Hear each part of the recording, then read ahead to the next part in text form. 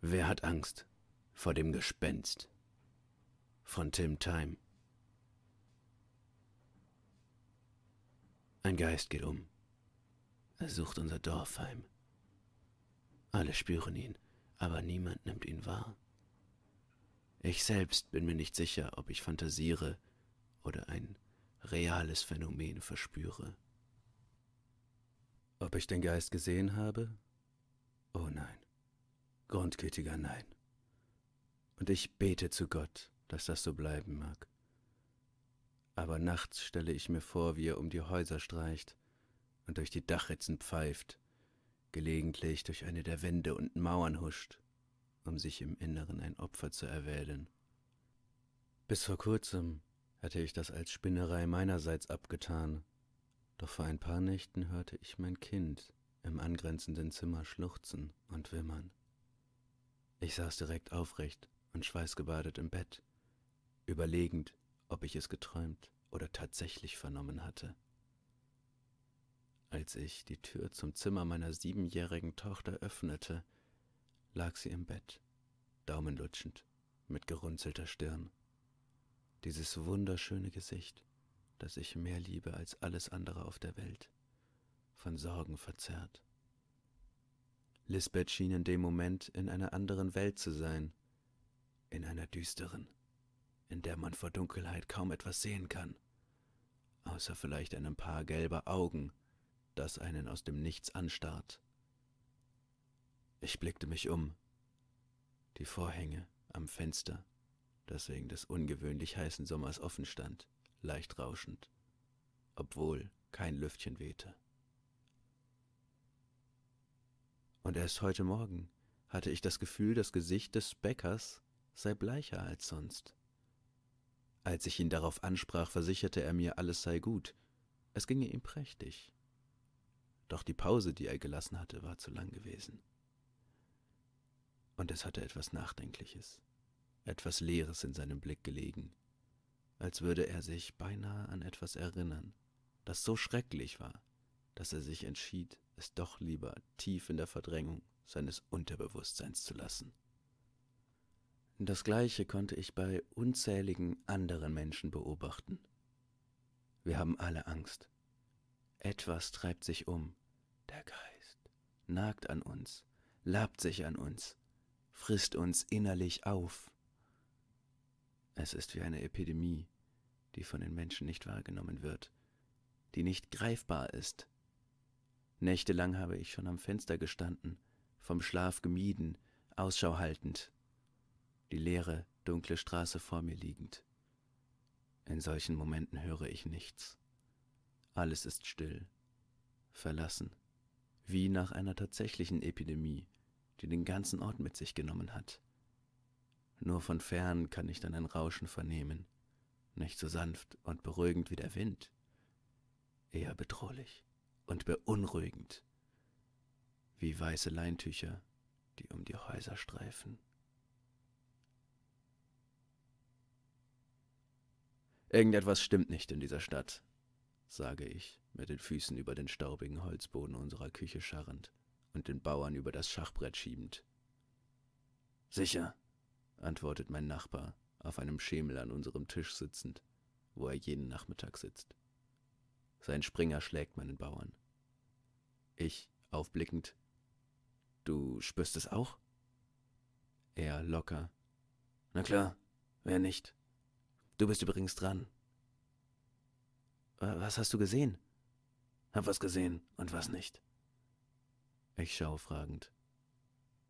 Armut, das habe ich gesehen. Deinen nächsten Zug habe ich nicht gesehen. Soll ich ihn für dich machen? Gibst du schon auf? Ich. Ich hab heute den Sohn vom alten Deller gesehen. Du weißt schon, der Bäcker. Sah gar nicht gut aus. Hat er das je? Kreidebleich war der. Irgendwas stimmt hier nicht. Du hast ihn nicht gesehen. Zum Glück, dieser Nichtsnutz. Stille. Ich lehne mich zurück, seufzend. Wie geht's deinen Kindern? Wie soll's ihnen schon gehen? Hoffe, sie erleben bald einen anderen Bürgermeister. Was ist jetzt mit deinem nächsten Zug? Das gleiche Gespräch habe ich in der Mittagspause mit meiner Assistentin in der Apotheke geführt. Ich fühle mich wie damals als Kind, wenn ich beim Abendessen von meinen Abenteuern nach der Schule erzählen wollte. Keiner hört mir zu. Jeder biegt das Gespräch in eine andere Richtung. Wenn es nicht die Armut oder der Bürgermeister ist, sind es die Kinder, die zu frech, oder die Jugendlichen, die zu dumm sind. Und wenn alle anderen Themen ausgeschöpft sind, kommt das Wetter. So trocken war es ja noch nie, das ist, was nicht stimmt, die Felder vertrocknen uns, wovon sollen wir leben? Nacht. Ich stehe am Fenster, kann wieder nicht schlafen. Doch irgendetwas zieht mich, lässt mich in meine Schlappen schlüpfen. Ich stehe jetzt draußen auf der Straße. Die Wärme des vergangenen Sommertages drückt sich auf mich, lässt mich merkwürdigerweise zittern. Ein Huschen, ein Blitzen. In der Ferne am Ende der Straße war ein weißer Schleier um die Ecke geweht. Oder hatte ich mir das nur eingebildet? Langsam, wie auf Rädern, bewege ich mich vorwärts. Immer schneller. Ich biege um die Ecke, an der ich eben etwas zu sehen geglaubt hatte. Doch da ist nichts. Ich gehe weiter, ohne eine Ahnung zu haben, wonach ich suche, doch nicht etwa nach dem Geist. Eine unnatürliche Stille liegt über dem Dorf. Absolut nichts ist zu hören. Die Stille drückt sich mir auf die Ohren. Ich biege um eine weitere Straßenecke und sehe etwas Lebendiges. Ein Kind, das hinter einem Zaun im Vorgarten sitzt. Ein Kind, mitten in der Nacht. Es hat die Beine angewinkelt und den Kopf in den Armen vergraben. Ich gehe hin und frage das Mädchen, was es denn hat. Bevor mir klar wird, wie das wirken könnte, ein erwachsener Mann, der mitten in der Nacht mit einem kleinen Mädchen redet, antwortet es ohne jede Scheu Ich, ich habe solche Angst. Wovor hast du Angst? frage ich. Ich weiß es nicht, antwortet das Mädchen aufschluchzend. Wenn ich ihre glänzenden Augen sehe, erinnert sie mich an meine Lisbeth. Es, es ist wie ein Grubbeln in meinem Bauch. Drinnen ist es ganz schlimm, weil meine Eltern auch komisch sind. Ich glaube, sie haben auch Angst. Und, und hier draußen ist es nicht viel besser. Und es macht mir noch viel mehr Angst. Ich weiß genau, wovon das Kind redet. Unter freiem Himmel zu sein hilft normal gegen jede Angst. Aber heute nicht. Ich weiß, was du meinst, sage ich und lege dem Mädchen eine Hand auf die Schulter. Darf ich dir was sagen? Fragt sie nach einem Moment der Stille. Klar, antworte ich. Ich, ich weiß doch, warum wir Angst haben. Es, es ist ein Gespenst hier, hier in der Stadt. Erst dachte ich, dass ich deshalb drinnen bleiben muss, aber es macht keinen Unterschied. Das Gespenst kann auch reinkommen. Sie schaut mich an, als befürchte sie, ich würde sie nun auslachen aber das tue ich nicht. Ich antworte bloß, ich weiß. Hast du das Gespenst gesehen? fragt sie mich. Nein, zum Glück nicht. Ich schon. Ich schaue das Mädchen an. In der Ferne habe ich es gesehen. Ich, ich bin stocksteif geworden, habe gedacht, dass ich mich nie wieder bewegen kann. Und ich habe erst wieder aufatmen können, als es schon ganz lange wieder weg war. Wie hat es ausgesehen? frage ich atemlos. Die Kleine starrt mich an. Dann schaut sie in die Ferne und wieder zu mir. Ich äh, weiß es nicht mehr. Und ich will mich auch nicht daran erinnern. Wir schweigen. Nach einer Weile sage ich, wollen wir einen Spaziergang machen? Das ist wahrscheinlich eine dumme Idee. Furchtbar dumm wenn uns jemand sieht. Das Mädchen starrt mich erschrocken an. Und was, wenn aber das Gespenst kommt? Dann laufen wir davon, sage ich in dem Tonfall wie bei dem alten Kinderspiel. Wie erhofft muss das Kind lächeln. Wie heißt du? fragt sie. Nathan, sage ich. Und du? Das ist ja lustig. Wieso? Ich heiße Hanna. Unsere Namen sind beide rückwärts ausgesprochen das gleiche. Das heißt, ähm, Pal, äh, irgendwas mit Pal, ich wusste es mal. Palindrom, sage ich. Woher weißt du denn sowas? Von Mama. Hanna steigt geschwind über den Zaun und wir gehen los die Straße entlang. Wir sagen dabei kein Wort. Es ist genauso still wie eben. Nur unsere Schritte auf dem Asphalt sind zu hören und werden von den Häuserwänden zurückgeworfen.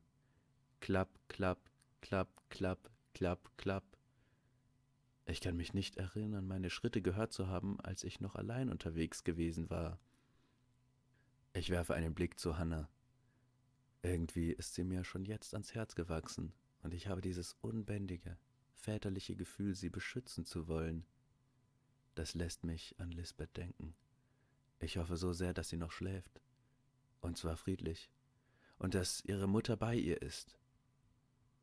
Ich schaue wieder zu Hannah. Ich merke, dass ich sie gerne unter fröhlicheren Umständen kennengelernt hätte. Ich hätte sie gerne erlebt, wie sie begeistert bei Sonnenschein durch den Garten tollt und Schmetterlinge jagt. Aber leider, ich spiele übrigens gerne Fußball. Hannes Worte reißen mich aus meinen Gedanken. Immer mit meinen Freunden nach der Schule, auf dem Bolzplatz hinterm Spielplatz. Ich will eigentlich in einen Verein, aber das darf ich erst, wenn ich zehn bin, sagt Mama. Und das sind noch drei Geburtstage. Sie schaut missmutig. Dann sagt sie: Und du, was machst du gerne? Ich sage erst nichts. Bin fasziniert von der Leichtigkeit, mit der Hanna gerade jetzt über das Leben reden kann. Das ist wohl so eine kindliche Superkraft. Ich, beginne ich, räuspere mich. Ich spiele nachmittags gern mit meinem Nachbarn Schach. Kennst du Schach? Klar, sagt Hanna. Das spiele ich auch gern. Ich ziehe dabei immer meinen Opa ab. Und er hat mir sein Ehrenwort gegeben, dass er mich nicht absichtlich gewinnen lässt. Sie grinst stolz. Fünf Minuten später öffnet sich am Straßenrand eine Haustür einen Spalt breit, und der Kopf eines Jugendlichen wird herausgestreckt. Einen Augenblick später taucht ein zweiter Kopf auf, der eines Fünfjährigen vielleicht. Wer seid ihr? fragt der Ältere. Seid ihr das Gespenst?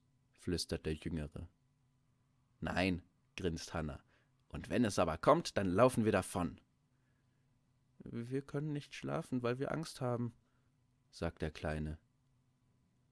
Die beiden Jungen schließen sich uns an und spazieren mit durch die Nacht. Der Ältere heißt Justus und sein kleiner Bruder Antonio. Mit der Zeit schließen sich immer mehr Leute an, die auch keinen Schlaf finden und uns zufällig vorbeispazieren sahen. Meistens sind es Kinder oder Jugendliche, oft ältere Kinder, die kleine Geschwister dabei haben, aber manchmal auch Erwachsene, unter ihnen sind die meisten schon im Alter meiner Eltern und Hannas oder Lisbeths Großeltern. Als wir schon eine Gruppe von 30 bis 40 Leuten sind, fallen mir erstmals die vielen Sterne am Himmel auf. Und ich frage mich, ob sie schon da waren, als ich noch allein unterwegs gewesen war. Vor Hanna und mir geht ein alter Mann, der einen kleinen Jungen in den Armen trägt. Ist das dein Enkelsohn? frage ich den Mann. Nein, der Alte klingt angespannt, erschöpft. Er ist mir quasi zugelaufen. Wie das? frage ich. Ich war gerade in der Küche gestanden und versuchte nicht zu implodieren. Diese Anspannung durch die Angst und die Schlaflosigkeit, du weißt. Jedenfalls ist mir dieser fremde kleine Junge direkt gegens Fenster gelaufen. Ich sehe nur gerade noch, wie er auf mein Haus zurennt. Wollt gerade die Tür aufmachen, da haut sie ihn glatt gegen meine Fensterfront. Wie ein kleiner Vogel, der die Scheibe nicht sieht. Ich bin direkt nach draußen und habe ihn reingeholt. Er hat ganz hysterisch geschluchzt. Irgendwann hat er sich in meinen Armen beruhigt, hat mir erzählt, dass er Matze heißt. Dann seid ihr vorbeigekommen und ich dachte mir, dass es das Beste ist, was wir tun können. Ein bisschen mit anderen Menschen gehen. Vielleicht können wir dann ja die Angst hinter uns lassen. Ich denke wieder an meine Lisbeth. Aber wenn sie aufwacht und Angst bekommt, ist ja noch ihre Mutter da. Ich drehe mich zu Hannah und frage sie, ob alles in Ordnung ist. Klar, antwortet sie. Irgendwie ist das Laufen besser, als nur alleine vor der Haustür zu sitzen. Wir schweigen wieder, und ich höre zwei Jugendliche hinter uns reden. Meinst du, das Gespenst ist noch in der Stadt? Klar, was denkst du denn? Ich finde, es fühlt sich ferner an, als hätten wir es vertrieben. Das denkst auch nur du. Nein. Eine andere Stimme, die eines Mannes, hat sich eingeschaltet. Ich fühle das auch. Der Geist ist nicht mehr so nah. Oder hast du nicht gemerkt, dass unsere Schritte lauter werden und die Sterne deutlicher? In dem Augenblick ertönt ein Schrei. Er kam aus einem der Häuser, an denen wir vorbeigehen. Einen Moment später wird die Tür des Hauses direkt neben mir aufgerissen. Eine Frau taumelt heraus, im Nachthemd, kurz erschrocken angesichts der großen Menge vor ihr. Dann schreit sie wieder Der Geist. Er hat meinen Sohn mitgenommen. Sein Bett ist leer. Da löst sich ohne jede Vorwarnung Matze aus den Armen des alten Mannes und rennt auf die Frau zu. Mama. Die beiden fallen sich in die Arme. Der Alte und ich sehen uns an. Scheint so, als wäre der Junge in seiner Angst davongelaufen und hätte sich dann verirrt. Matze schluchzt in den Armen seiner Mutter. Mama, das, das Gespenst hatte mich, aber ich, ich bin davon gelaufen. Alles gut, mein Schatz, alles gut. Jetzt ist ja alles gut. Dieses Mantra wiederholt sie die ganze Zeit, während sie sich mit Matze auf dem Arm unserer Gruppe anschließt, den Kleinen in den Schlaf wiegend. Durch den Vorfall sind wir nach hinten gefallen und sind jetzt fast die Letzten in dieser merkwürdigen, mitternächtlichen Prozession, bei der mittlerweile um die 100 bis 150 Leute mitlaufen.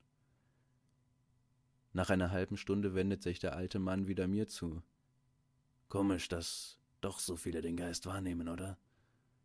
Tagsüber habe ich immer das Gefühl, ich wäre der Einzige, der sich dessen bewusst ist. Ja, so geht es mir auch, erwidere ich. Vielleicht, beginnt der Alte, verdrängen die meisten Leute es tagsüber nur, um dem Alltag nachgehen zu können. Plötzlich bleiben alle, Männer, Frauen, Jungen, Mädchen, wie eine einzige Person stehen. Ein Flüstern macht sich breit. Es wird kälter, sagt eine Frau vor mir. Und tatsächlich spüre ich es jetzt auch. Eine Gänsehaut kriecht an mir hoch, und ich kremple meine Ärmel hinunter.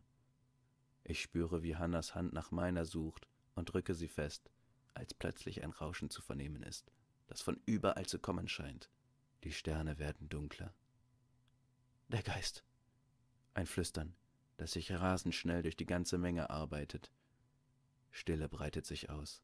Es wird kälter, das Rauschen lauter, Efis Händedruck fester. Laufen wir jetzt davon? Hanna klingt ängstlicher denn je. Nein. Gut. Ich, ich will nicht weglaufen. Und plötzlich fallen Töne in die Stille. Ein Pfeifen, das von weiter vorne in der Menge zu kommen scheint. Jemand pfeift eine Melodie. Sie klingt unpassend, in dieser ängstlichen Stille und doch so hoffnungsvoll. Doch nach ein paar Sekunden verklingt das Pfeifen. Stille. Jemand anderes nimmt es wieder auf. Zwei andere fallen ein. Das Rauschen um uns herum wird leiser. Oder wird es nur übertönt? Auch Hanne und ich pfeifen jetzt mit, der alte Mann neben uns ebenfalls. Es ist eine ruhige, aber fröhlich schwungvolle Melodie. Es lässt mich auf merkwürdige Weise entspannen. Ich spüre, dass ich in einer anderen Situation dazu tanzen würde. Das Lied wird lauter, bis schließlich die ganze Menge mitmacht. Das Rauschen um uns wird plötzlich zu einem Wind.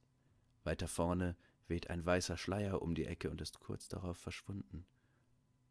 Die Melodie wird leiser, verstummt, und die Leute fangen zu schlottern an, so kalt ist es geworden. Warum pfeifen wir nicht weiter? Hannas Stimme an meinem Ohr. Ich schaue zu ihr, und sie hat die Arme um sich geschlungen, so sehr zittert sie. Ich nehme sie in den Arm und nehme die Melodie wieder auf. Hanna mit mir. Andere unterstützen uns, aber es sind nicht mehr so viele wie vorher. Und dann sehe ich es. Mir stockt kurz der Atem. Eigentlich sollten jetzt alle schreiend weglaufen. Sie tun es aber nicht. Unser Lied wird nur wieder lauter. Mittlerweile pfeifen wir fast schon hysterisch schreiend gegen den Sturm und das, was wir sehen, an.